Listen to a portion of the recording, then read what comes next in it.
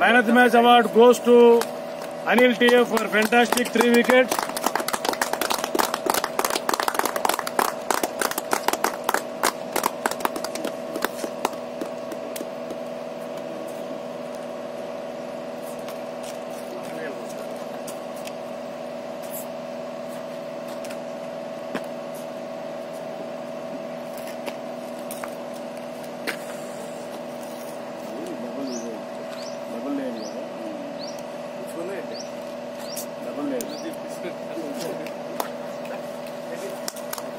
One more man of the match award goes to TF captain SRK for fantastic 50 runs.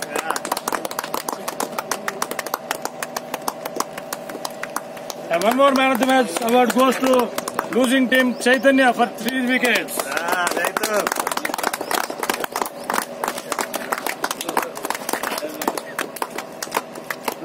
Right.